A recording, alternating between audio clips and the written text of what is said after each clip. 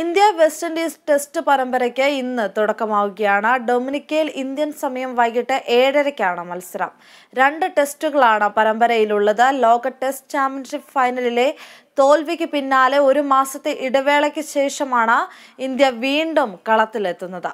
പുതിയ ലോക ടെസ്റ്റ് ചാമ്പ്യൻഷിപ്പിന് തുടക്കമാവുന്നത് കൊണ്ട് തന്നെ ഇരു ടീമുകൾക്കും ഈ മത്സരം നിർണായകമാണ്. യുവതാരം യശസ്വി ജയ്സ്വാളിന്റെ അരങ്ങേറ്റ മത്സരമായിരിക്കുമെന്നും റിപ്പോർട്ടുകളുണ്ട്. ടെസ്റ്റ് സ്പെഷ്യലിസ്റ്റ് ചേതേശ്വർ പൂജാരിയുടെ പകരക്കാരനായി മൂന്നാം നമ്പറിലായിരിക്കും യശസ്വി എത്തുക. ഇന്ത്യൻ തിരയിൽ രോഹിത് ഗിൽ സഖ്യമായിരിക്കും ഓപ്പൺ ചെയ്യുക. മറുവശത്ത് ഏകദിന ലോകകപ്പിന് യോഗ്യത നേടാൻ കഴിയാത്തതിന്റെ ക്ഷീണത്തിലാണ് വെസ്റ്റ് ഇൻഡീസ്.